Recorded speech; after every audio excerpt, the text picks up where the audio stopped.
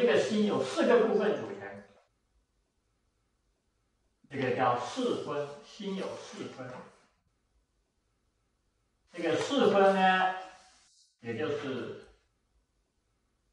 相分、见分、自证分、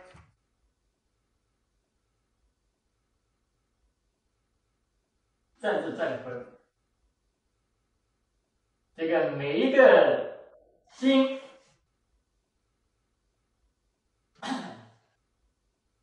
当它产生活动的时候。它都会有这样的四个部分，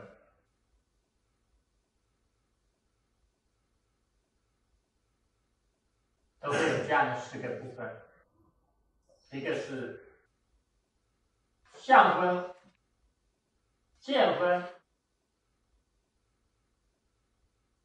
自证分、政治正分。那么在这个四个部分里边啊。我们最容易感觉到的，只要有两个部分，一个是相分，一个是见分，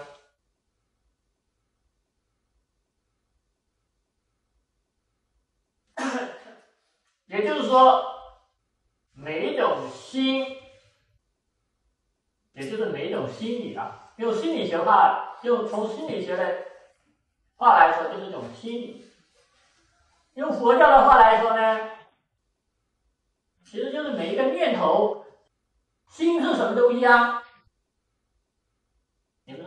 什么？啊？是不是密心了不可得啊？心是什么？嗯？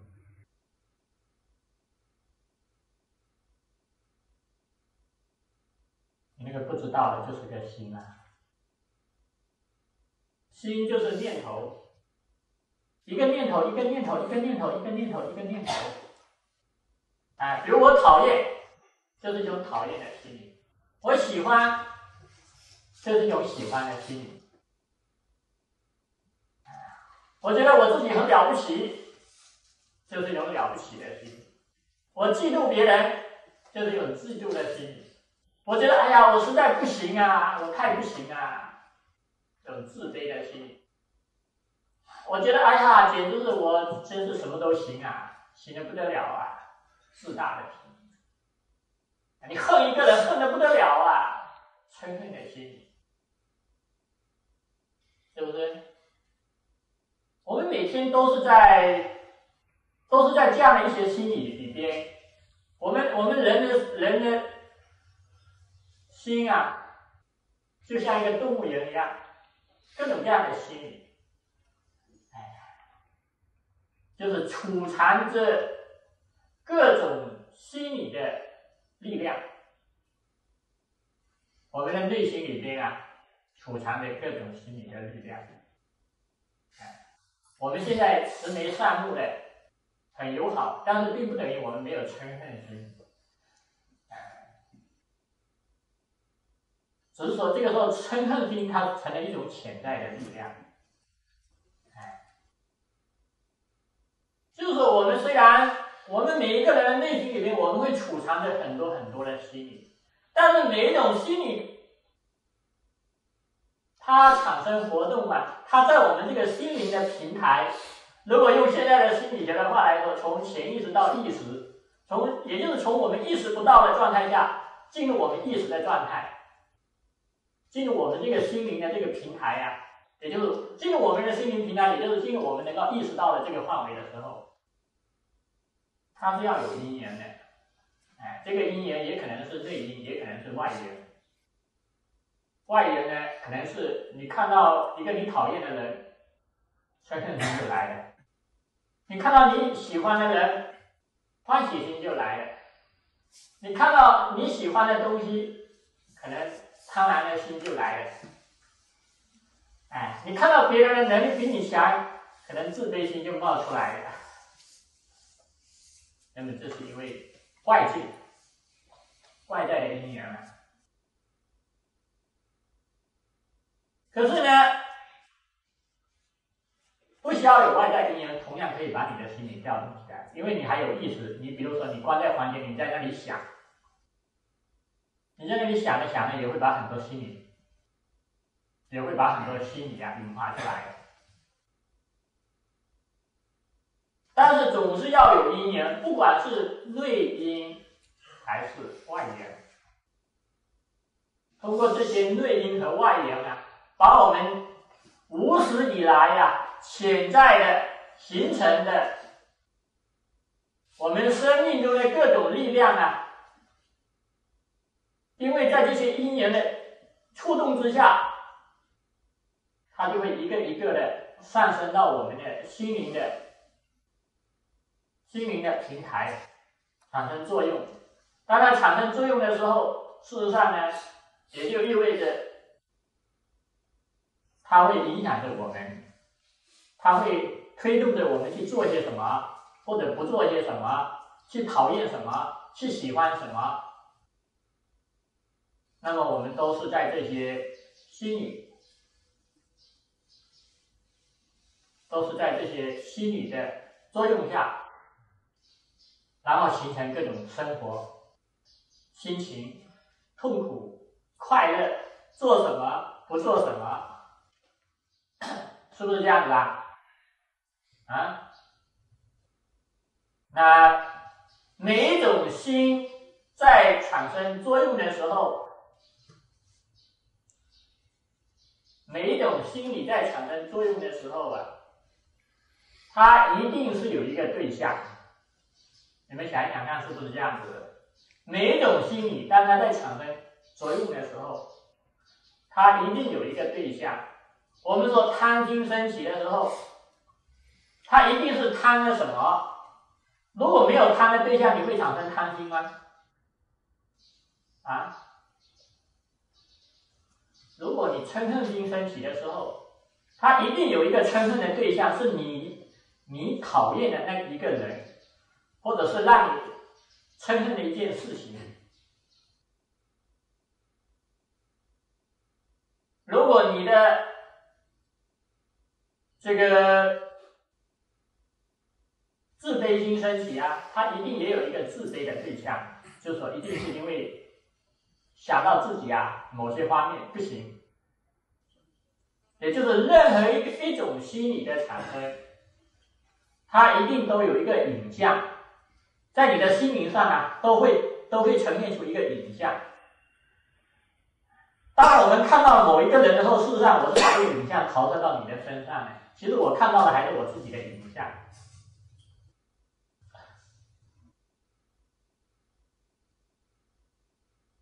那么这个影像啊，就是相分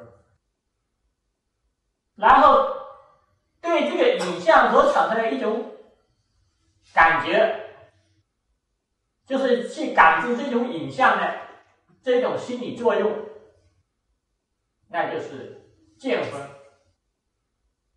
哎，对这个影像产生一种感知的这个心理作用，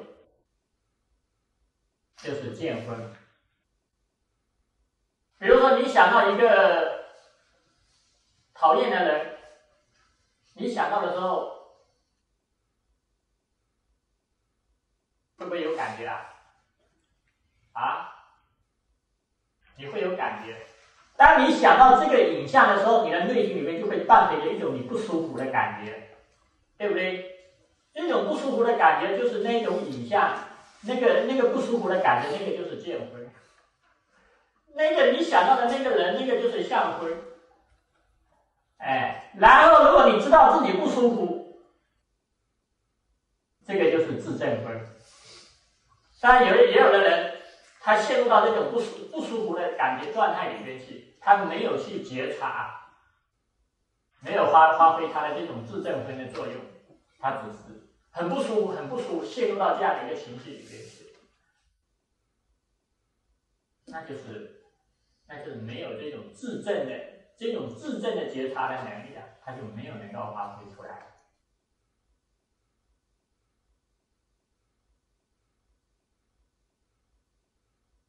那么，每一种心理产生作用，都有见分、相分，哎，那么这个见分、相分就是能言所言，见分就是能言，相分就是所言。所以我们的世界呢，是一个什么样的世界啊？用哲学的话来说，就是主和客的世界；用我们佛法的话来说，就是能言和所言，哎，能和认识和被认识。哎，我们通过眼睛看到了，其实我们的我们对世界的认识啊，我们能够认识到什么程度？我们怎么样去认识？其实是取决于我们的认识能力，因为我们有眼睛，因为我们有眼识，所以我们才有认识的世界；因为我们有耳朵，我们有耳识，所以我们才有音声的世界；因为我们有鼻子，我们有鼻识，所以我们才有香的世界、臭的世界。因为我们有舌头，有舌识，我们才有味觉的世界；因为我们有身体，我们才有触觉的世界；因为我们有生识啊，所以我们才有触觉的世界；因为我们有心灵，恢复的心灵啊，所以我们才有精神世界，是不是这样子啊？那么如果说你，你如果没有眼睛呢？一个如果对一个瞎子来说，他就没有颜色的世界。如果对于聋子来说，他就没有音声的世界，哎，那如果对一个没有鼻子的人，哎，没有没鼻子的人啊，啊，这个鼻子鼻鼻子鼻鼻子有问题的人呀，他可能就没有这个香草的世界，哎，那么尤其是精神世界，精神世界它就取决于我们的意识的世界。你的意识世界丰富不丰富，那么也就也就决定了你的精神世界丰富不丰富。哎，那么我们对世界能够认识到什么程度啊？比如说我们的嗅觉可能比不上动物那么灵，是不是？那么这就是说，其实我们的认识认识的世界。其实是取决于我们的这种认识的能力。我们的认识能力其实也就像认识的仪器一样，它的精确程度啊，取决于我们我们的这种能认识的这个仪器啊，是不是很精确？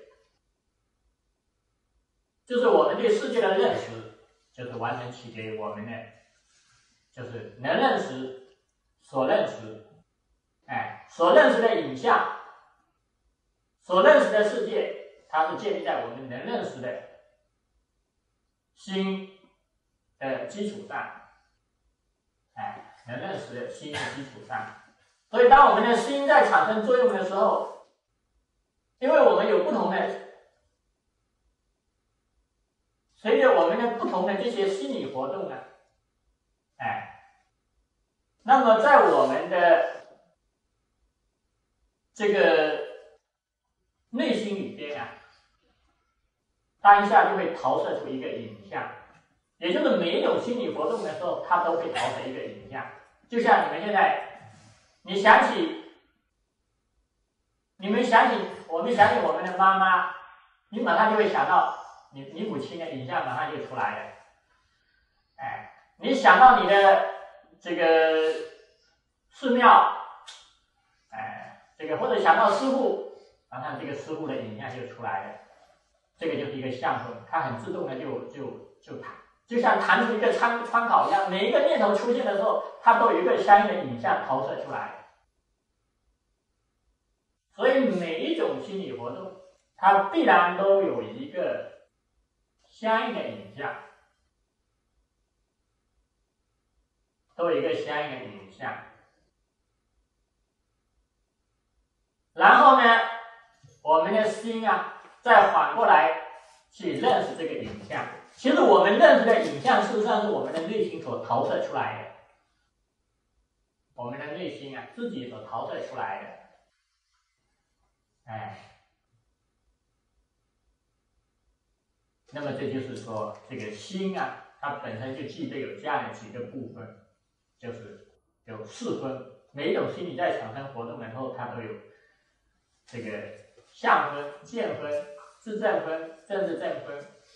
当然，我们平常最容易感觉到的就是相分、见分。那么每一种心理在产生作用。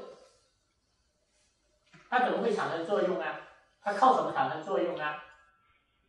心是从哪里来的？它是怎么形成的？心产生作用的心理基础是什么？那么这就是唯识学里面讲到的，叫做种子。哎，就叫做种子。你所有的。人生的经历，所有的生活的经历啊，当它经过以后啊，都会在你的内心里边形成一种心理力量。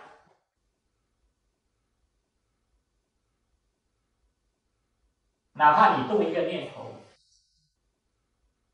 哎，只要你做过的事情，你的心都会帮你烧残的。没有什么事情啊。我们所表现出来的一切啊，它都会过去，但是呢，所表现的一切啊，它在你的内心里面都会形成力量。那么这种心理力量就是种子，在唯识中里面就叫做种子。这个种子啊。就是它是我们各种心理活动，我们的以及我们认识世界的心理基础，心理基础啊。我们我们的生命里面有多少种子啊？哎。我们的生命里面有无数无量无边的种子啊！这个佛经里面讲的，哎，这个解释密经里面讲的，叫做阿陀罗什甚深细，一切种子如暴流，如瀑流，就像这个这个就像大海一样，那个潜藏着无量无边的，哎，这个这个水呀。这个这个在《楞严经》里面也讲：“暂时海常住，境界分所动，种种诸时浪腾跃而产生。”暂时就像就是我们的心灵世界里边有一个就是暂时，就是第八拉也是，它就像海洋一样那么深，哎，那么广，哎，那么这个暂时的海洋呢，储藏着我们无尽生命中。形成的种子，所以生命是什么？生命就是无尽的积累，哎，生命就是无尽的积累，积累的什么？积累的就是种子，哎，所以在我们每一个人的内心里边啊，我们都有很多很多很多各种各样的不同的种子，这种不同的种子啊，代表着我们无尽生。我们每天都在都在兴起种子啊。这个唯识中里边跟这个种子有关系的有几个概念，一个是兴起，一个是现行。哎，种子生现行，现行新种子。什么叫种子生现行，现行新种子呢？我现在就在种子生现行，现行新种子，你们知道吗？啊？我现在在说话的时候，这就是一个种子生现行的过程。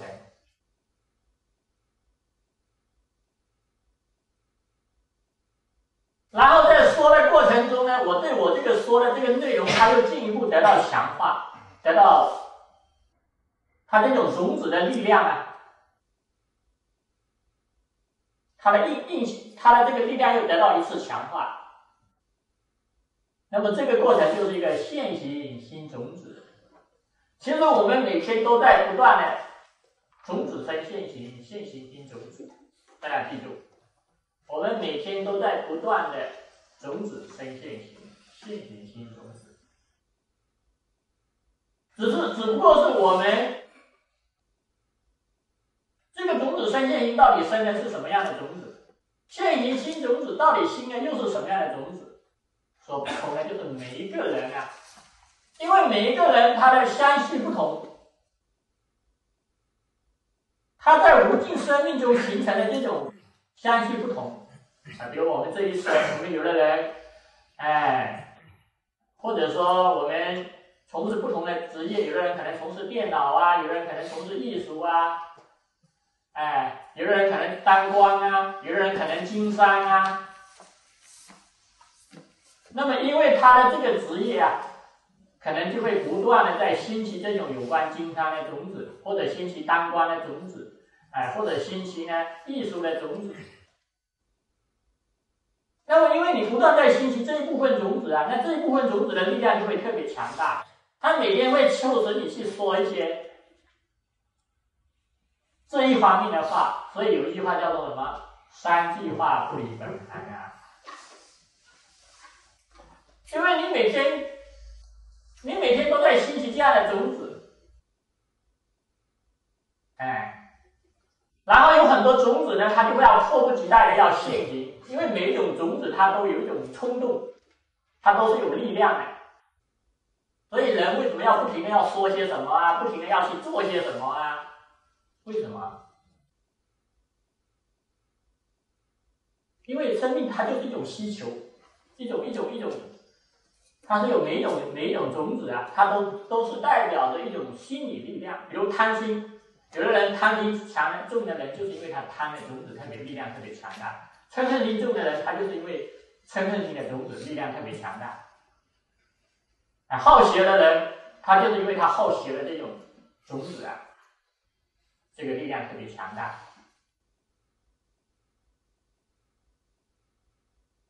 那么这个。就是每一个人啊，我们都在兴起着不同的种子，都在就是种子种子生现行，哎，那么现行的时候呢，又新种子，从现行新种子啊，这个过程它也不是单纯的，因为我们有意识，所以呢，我们当我们在想一件事情的过程中啊。所以，每很多想法它会逐步成熟，哎，我们能力啊会不断增强，观念也会不断的在调整。为什么？因为我们这个种子生现行，现行因种子的过程中，是由我们的意识在参与，哎，所以我们没有心理的形成啊，它跟我们的意识，它跟一方面跟我们固有的心理力量是有关系的，另外一方面呢，跟我们人的观念是有关系的，哎。如果你有正确的观念，你就会不断的去调整你的，你会会不断的在在调整，哎，往好的方面调整。如果你的观念是错误的，你就会会往不断往不好的方面调整，不断的往不好的方面调整。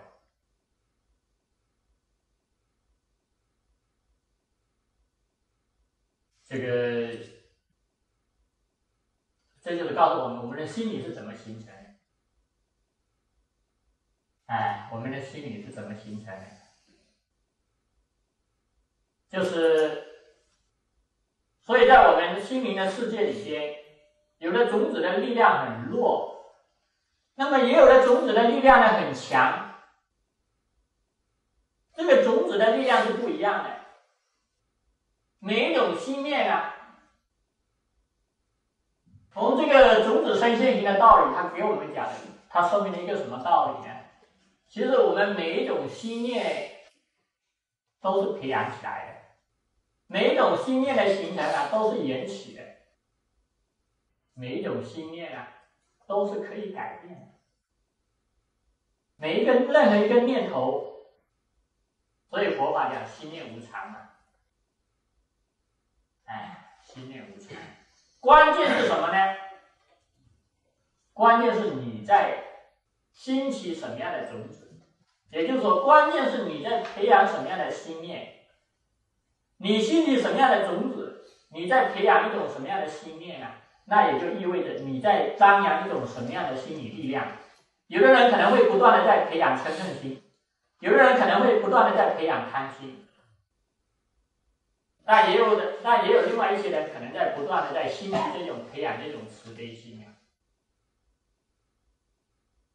也就是你在你的心灵里面播什么样的种子，你在你的内心里边培养什么样的种子，其实这才是修行的关键，哎，这才是修行的关键。所以，因为我们这种不同的。心理活动，我们的这些不同的心理活动啊，也就是，也就在逐渐的在形成不同的心理，在形成不不同的心理。所以我们每一个起心动念，对我们未来的生命都会产生影响，因为我们每一个起心动念，我们都在张扬不同的心理力量。我们每一个起心动念啊，我们都在张扬不同的心理力量。所以，为什么修行要从起心动念入手？其实原因也在这里。我们说啊，客观上有没有护法神啊、佛菩萨看见没看见啊？其实那个都不重要，乃至包括你将来有多大的果报啊，其实跟你内心形成的力量对你生命的影响相比啊。外在的果报也是显然微不足道的，因为外在的果报它只是一时的，一次性就结束了。但是如果一个人形成一种强大的心理啊，这种心理将会长时间的影响着你，甚至永久的影响着你。你你如果说没有通过修行去改变它的话，它对对你的影响将是继未来继的。你说一种生活环境对你的影响可能是短暂的。但是你的一种心理的影响，对你将是长长久的，所以就是就是我们的世界，是我们的这个每一种心念，哎，它是根源于我们的这个都有它的心理的基础。都是有它的心理，我们的所有的心理的因素、心理的力量，都是我们在无尽生命延续中逐步形成的、逐步培养起来的，都是我们自己培养起来的，不是天上掉下来的。哎，所有的心理活动都是可以改变的，没有不能改变的心理。善和恶也都是一念的事情。哦，当然这个一念啊，不要小看一念哦。这个一念啊，它可能摧毁整个世界。一念嗔恨嗔心起啊，百万障门开呀。但一念也能成佛啊，都是在这个一念啊。慈悲心也是一念，嗔恨心也是一念。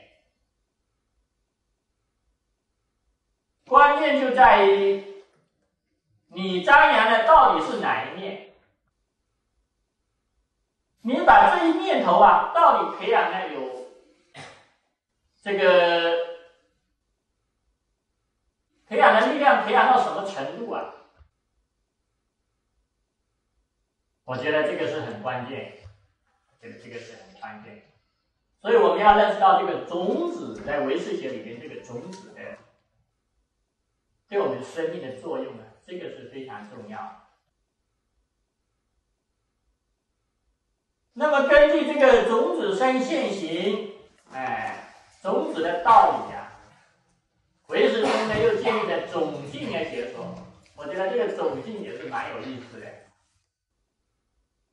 哎，种子是代表着我们内在的一种心理的潜在的力量，然后呢，种子生现行之后是代表着我们的一种心理活动，然后这种心理活动的过程中。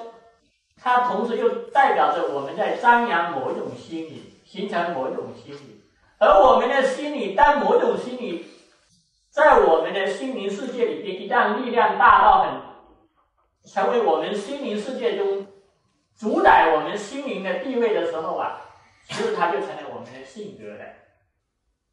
这个时候已经不再是一种心理了，它已经就成了我们的性格了，哎。当然，这种性格如果固定下来了，也就成为了我们的人格。那么，这个人格其实也就是我们的。哎，所以有的人，这个在一切是地论里面把这个人啊分为几十种，比如说有的贪性人啊、嗔性人啊、薄情人啊，哎，其实人有各种各样的这个。我们可以这么说，也就是生命的素质，哎，或者是种性，你是属于什么性质的人？你是属于什么性质的人？我们每一个人看看自己，我是属于什么性质的人？我有什么样的性格？哎，我在这些烦恼里边，到底哪哪些烦恼的力量特别重？那我可能就是属于什么性格的人？哎，那。所以唯识中就讲到有五种种性啊，这个种性的说法不是没有道理。比如说，有的人他就是属于没有种性，没有种性，也就是这个这种人他是，没有什么善根，也没有什么慈悲心啊。那么还有的人呢，是属于菩萨种性。菩萨种性呢，就是他很富有。利他人的心，利益众生的心，那就是菩萨种性。那还有的人他比较自了，比如说他只想着自己啊解脱啊，他不太关心别人。那么这种人就是属于生人种性。那还有的人呢，就是他没有一定的，哎，他碰到什么因缘呢，他有可能就会。就会有什么样的选择？那么这个在佛教里面就叫不定种性。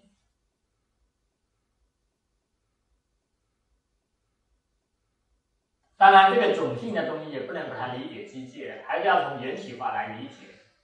种性呢也不是固定不变的，但是呢，你要想变它也不是很容易，是不是啊？你看，叫做。什么江山易得，秉性难移呀？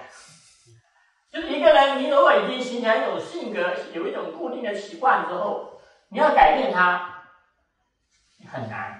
但不是说不能改变，如果不能改变，这就不符合缘起法了，这就有自信了。一切都是可以改变，但是不是说你想改变就能改变的？你要是没有相当的善巧方便。你要改变一种心理，你要改变自己的一种性格，你要改变自己的一种不良习惯啊，那其实是非常难的。哎，那不是不是不是很轻而易举的事情，所以这也是为什么说修行很难的原因，就在这里。但是如果说我们有非常好的方法，其实它也不会很难，也不会很难，所以叫难者不会，会者不难啊。嗯，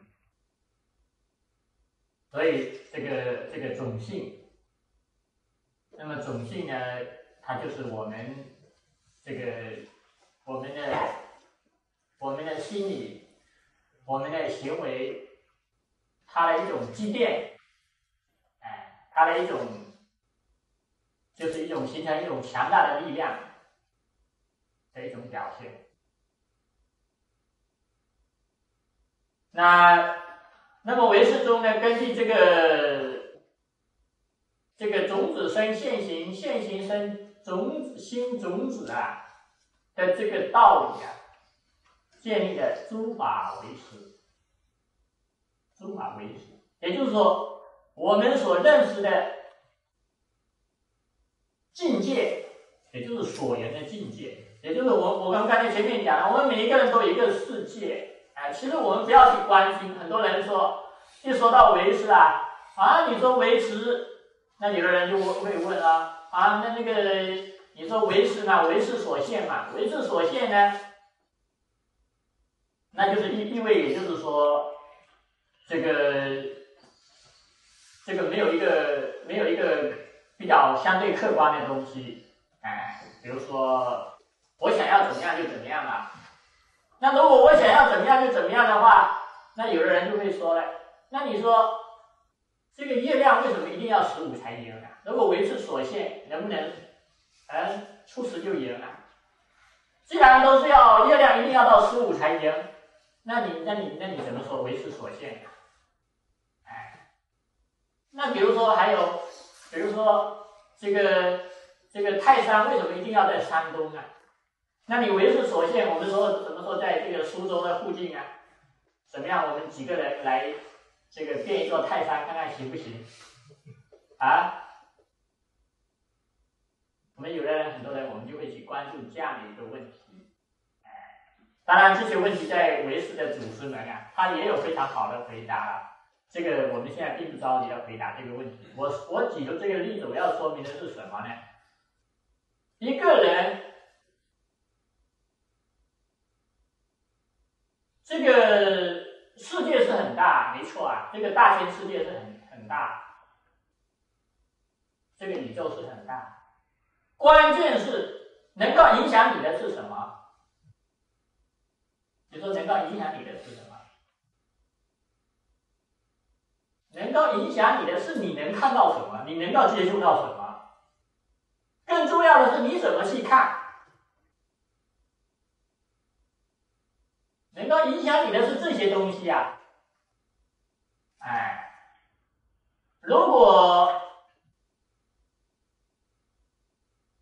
你说他方世界多么好，多么好啊，或者多么不好啊，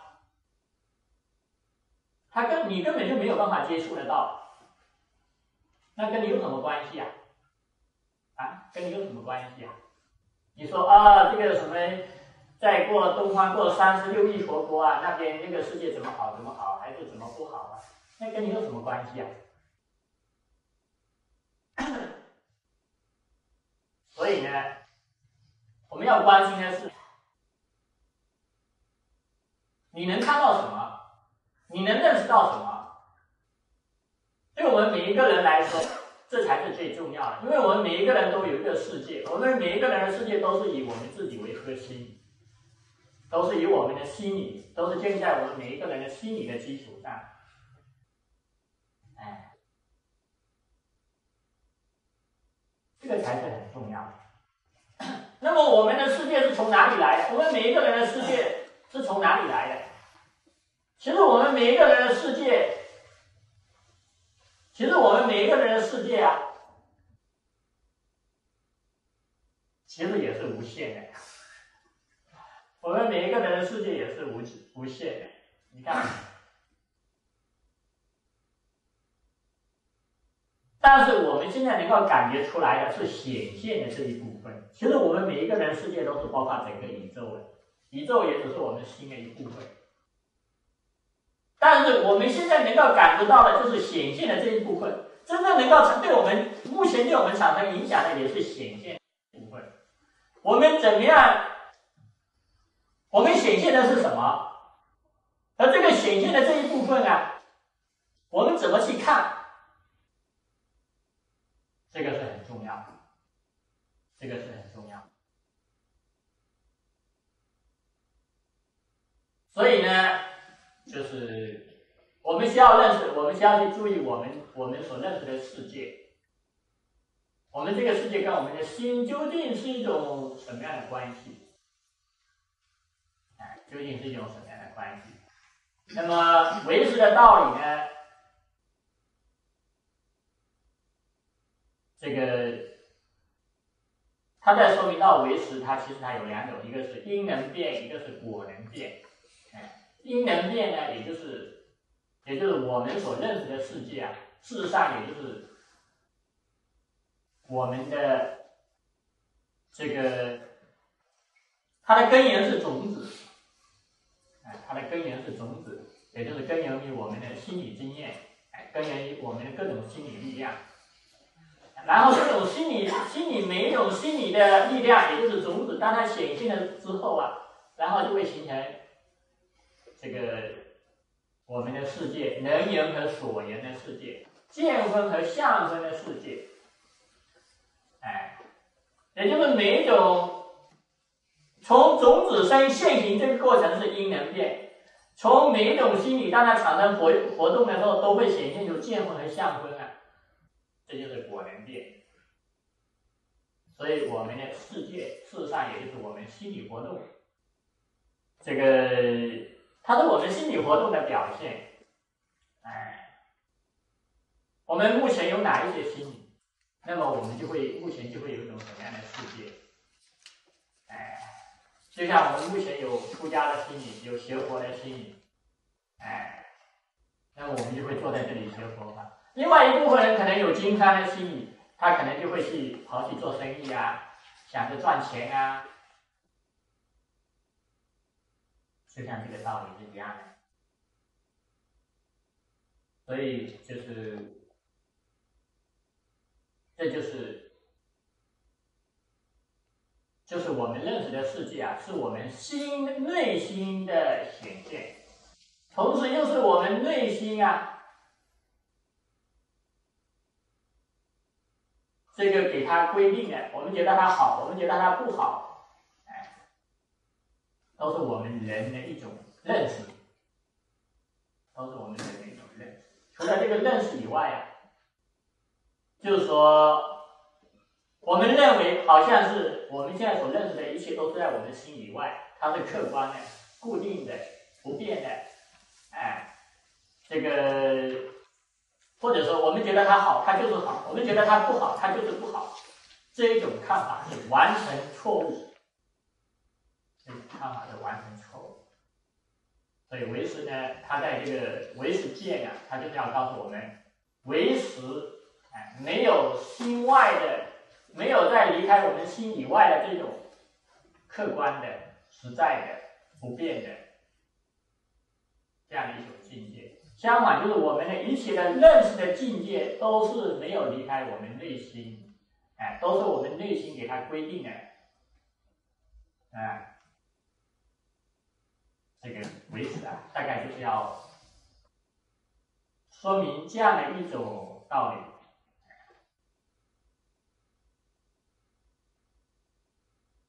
看看你们现在清楚不清楚啊？我已经给你们大概的介绍一下这个中法维持的道理了。哎，你看只用了一节课啊，啊，两节课啊。那么关于这个唯识的这个道理啊，在《成为实论》里边讲的最详细。三十论里边啊，也讲了。当然，成为实论是解释三十论的啦，讲的蛮详细的。所以这个具体的内容呢，可能今后们要进一步学习成为实论的时候。但是大概的内容呢，其实基本上是这样一个。这样的一个思路，这个是讲的是一他起相，然后就是遍计所指相，遍计所指相呢，基本上就是我们凡夫的凡夫的世界，我们凡夫的世界啊，就是说变计所知，电就是普遍的意思啊，计呢就是一种分分别，普遍的分别，这个分别是什么分别呢？就是一种颠倒分别，颠倒。这个颠倒分别，就是我们凡夫的特点。我们看到什么，我们都会进行。当然，只要是我们感兴趣的东西，哎，我们都会都会分别，都会希望做一番希望分别啊，这个好啊，这个不好啊，这个有价值啊，这个没价值啊，这个是美啊，那个是丑啊。我们都会进行分别，分别了之后，伴随的是什么呢？执着。所以分别跟执着啊，它像一对兄弟一样，有分别，往往就会有执着。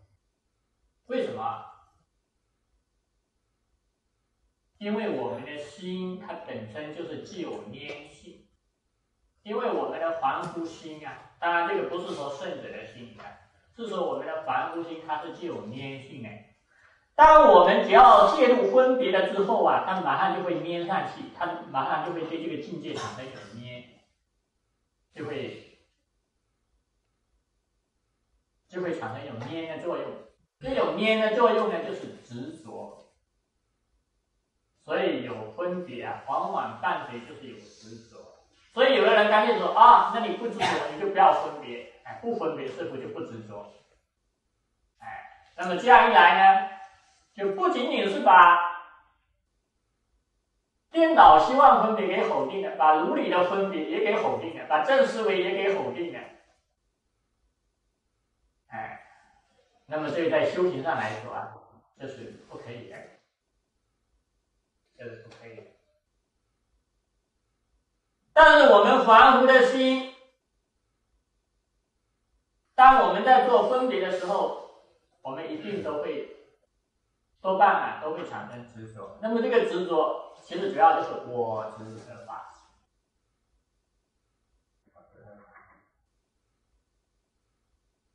那么这个，那么这样一来呢，我们。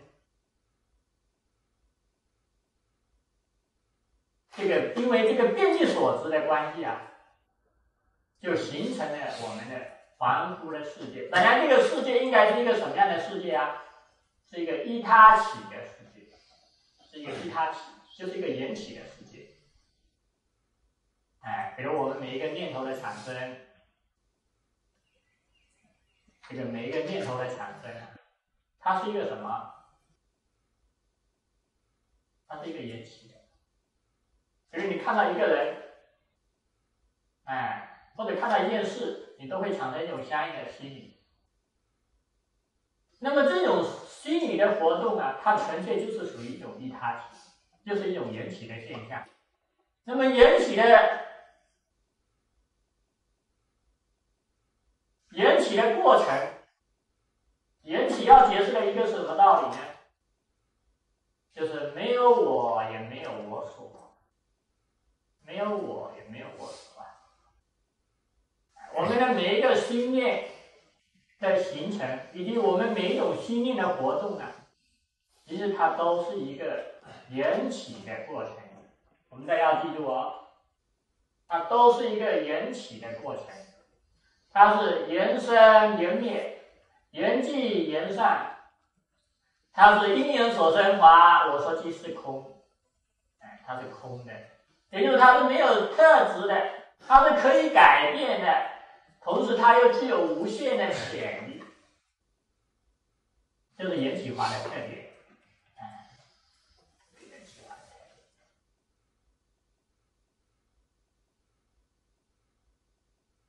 这个，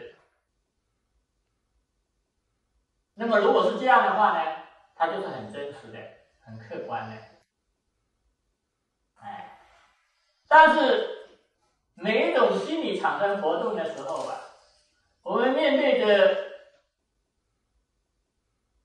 我们的心理，我们自己的心理，哎，包括我们的各种能力啊，包括我们自己的情绪呀，我们的喜欢的情绪、讨厌的情绪、爱的情绪、恨的情绪，以及呢，我们的情绪上所投所显现的这种影像，哎，比如某件事或者某一个人。每一种情绪，它都会伴随着这个影像，这个影像和这个情绪，哎，这个影像和我们的心念，我们会去认识它，我们会去认识它。那么这个认识呢，就是这个认识就开始出问题了。这个认识就开始出问题了，所以变计所知有分为几块，一块叫做能变计，一块叫做所变计。所变计的是什么？所变计的是见分和相分。那么能变异的又是什么呢？就是能够分别的意识、心，主要是指的是。在我们这个八个识里边啊，能够变异的，能够产生变异所识的这个识啊，主要是指第六意识和第七莫那莫那识。尤其我们能够感觉到，我们能够感觉到的，主要也就是第六意识，因为前五识它是没有变计的能力，它只是限量的。第八识呢，也没有。那么，真正能够产生变气的，就是意识和莫那识，尤其是第六意识。那我们这个意识啊，当我们这个对意识、对这个见分和相分啊进行认识的时候，就要出问题了。哎，这个在认识的时候啊。就会产生我执和法执，哎，比如认为这个是我的，我的想法，我的心，我的心情，哎，比如说一种欢喜心升起，这是我的心情，我的心情很好，哎，一种烦恼的心情，哎呀，我的心情糟糕透顶了，然后我们看到了很多东西。啊，这个桌子是我的，这个环子是我的，哎，这个人跟我有关系，那个人对我好，那个人对我不好，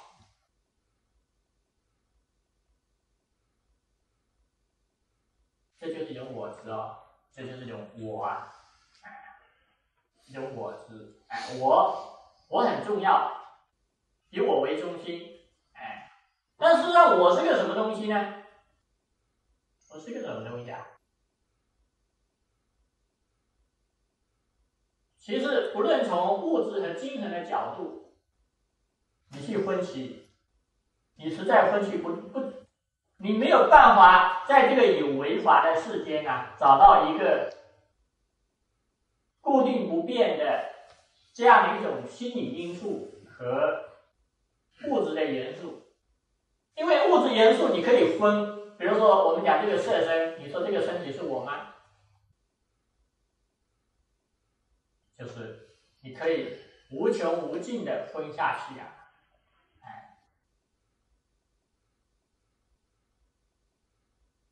有没有一个不可分的东西啊？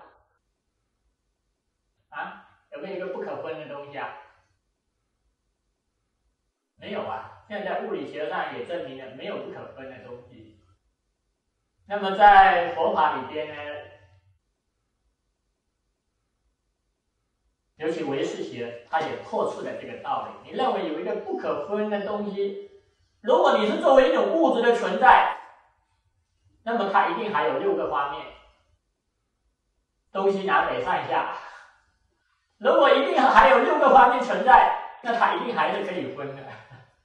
只要你是一个物质存在，它就有分方，就是有有有，就是有方位呀。如果有方位，它就是可以分的，不是不可以分的。那么从我们的心念的分析，就是会分析到一刹那、一刹那、一刹那，